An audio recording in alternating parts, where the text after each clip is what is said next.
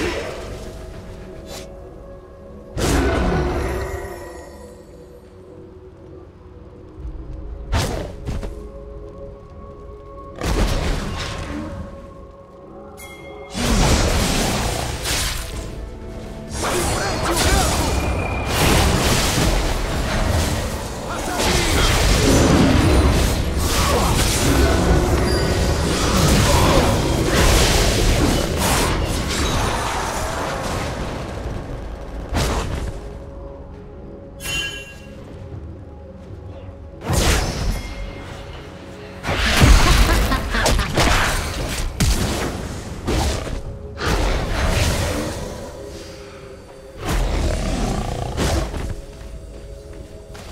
A torre da equipe azul foi destruída.